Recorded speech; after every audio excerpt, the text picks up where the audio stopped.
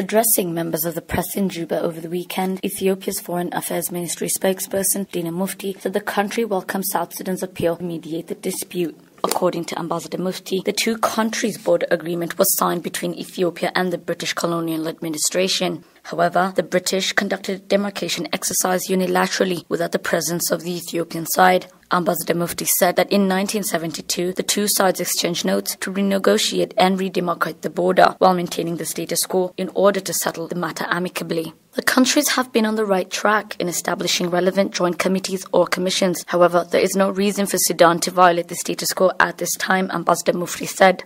This belligerence on the South Sudanese side does not reflect the long-standing relations between the two countries, and Ethiopia is asking Sudan to respect the status quo.